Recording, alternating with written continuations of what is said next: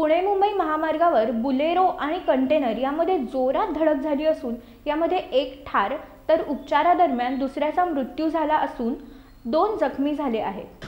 Pune Mumbai Yashwantrao Chavan express वेवर लोणावळा नजीक सिंहगड कॉ कॉलेजसमोर कंटेनर आणि बोलेरो गाडीचा अपघात झाला आहे मुंबई लेनवर एक ठार तर दोन गंभीर जखमी झालेले आहेत. जखमींना ट्रॉमा सेंटरला दाखल केलेलं आहे. घटनास्थळी महामार्ग पोलीस आणि देवदूत रेस्क्यू देखील दाखल झालेले आहेत.